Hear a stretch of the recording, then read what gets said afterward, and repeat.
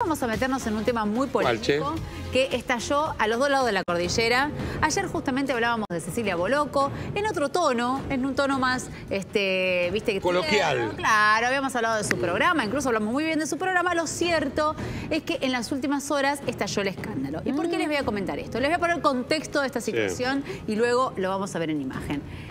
Ella estaba haciendo un vivo de Instagram Mm. donde eh, recordemos que Cecilia Boloco tiene una eh, línea de ropa propia, Ah, digamos, con su marca, con su sello, como si acá Susana tuviera su propia línea de ropa. sí. Y estaba haciendo un vivo en Instagram para ir mostrando las prendas que habían entrado de la nueva colección, para vender los productos y ya. Una usuaria le pone, necesitamos talle extra large. Y esta es la respuesta de Cecilia Boloco y a partir de ahí se desató el... Oh, me imagino. Es que- que me- me- necesitan más talla. Yo creo que lo que necesitan es, es comer menos, ¿ya? Se los digo con todo mi amor. Hagan un ayuno intermitente, alguna cosa. Porque no. Tan, tan, tan grande no. Eh, Entreita en carne es rico porque hay- incluso muchos hombres también les gusta. ¿No es cierto, mis amores, mis, mis preciosos hombres que están ahí?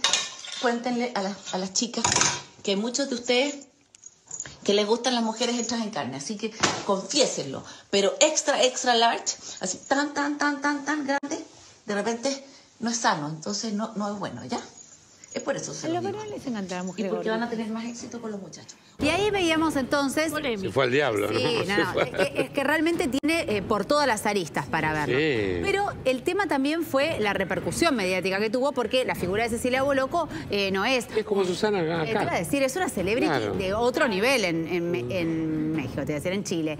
Eh, no es, viste, una persona que por ahí va a decir, bueno, un chico salió de un reality, sí. que no sos comunicador, que no, que no tenés por ahí una formación. Entonces, realmente... eh, Insisto, tiene muchas aristas el tema y no solamente por decir eh, coman menos, que obviamente definitivamente es una frase completamente repudiable y más en estos tiempos donde se están justamente queriendo romper determinados paradigmas, sino que aparte dijo, va a tener más suerte con los hombres. O sea, no, no, Todo, por todo, donde no lo pegó una. Pero vamos a ver cómo esto, eh, insisto, impactó de lleno en la televisión chilena y así criticaban a Cecilia Boloco. Y cuando alguien te dicen come menos, uno le genera angustia. Uno dice, pero ¿cómo voy a comer menos? No voy a andar el día entero con hambre. Entonces, efectivamente, cuando el mundo de los flacos te dice come menos, realmente es poca comprensión. Como, es como para el mundo de los flacos es súper fácil decir, oye, come menos, pero es súper difícil comer menos. El hecho de que el 99% de las mujeres encuestadas se sienta disconforme con su apariencia física está hablando de que es un problema colectivo, no es un problema individual. Entonces, la consecuencia que eso trae tiene que ver con la sensación de no pertenencia, con la sensación de vergüenza en torno al cuerpo, con la sensación de culpa de no calzar y por lo mismo la permanente sensación de rechazo por no pertenecer a este ideal que nos muestran como perfecto, por así decirlo. que lo están trabajando bastante los psicólogos que ven crianza respetuosa y cosas así desde los niños. El no hablar de los cuerpos de otros. Eh, es un tema que se viene trabajando desde hace mucho tiempo por parte de psicólogos, de empezar a trabajarlo con los niños, porque desde ahí parten los trastornos alimentarios, pueden partir también el bullying y distintas situaciones que lo que hacen es que cuando eso se ve en niños es tremendamente complicado. Pero si hay algo que molestó profundamente fue que una diseñadora de vestuario sin conocimientos médicos que llega a miles de personas recomendara un tipo específico de dieta.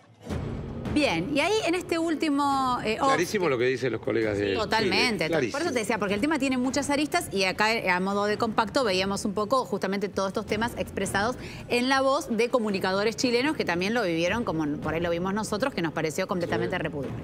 Lo cierto es que vamos a utilizar la palabra autorizada de Alberto Cormillot, este, que digamos entiende mucho de nutrición, o sea, es un referente de nuestro país, porque ella, fíjate que en el off que escuchábamos recién, dice una persona que no tiene ningún conocimiento médico recomienda un tipo especial de dieta. Ella que dice, hagan ayuno intermitente. Y también Alberto Cormillot se expresó al respecto y dijo que no está comprobado, digamos, que no hay una, eh, digamos, un documento eh, que avale o hecho por una universidad, por algún instituto eh, serio, digamos, que pueda Aparte, cada persona que la necesita un de plan hacer si tiene ganas de hacerlo. Exactamente. Pero que la idea de un ayuno Diferente, intermitente no es que vos te mandás a hacer un ayuno intermitente y ya con eso Y al estamos. diabético eso no le sirve. No o le sirve. no demos malos mensajes. Entonces, bueno, también incluso por eso digo la palabra de un referente local como Alberto Cormillot. Lo cierto es que después de todo esto que pasó y del impacto mediático que tuvo, bueno, esto se fue de las manos clarísimamente y Cecilia Boloco tuvo que salir directamente a pedir disculpas. Sí.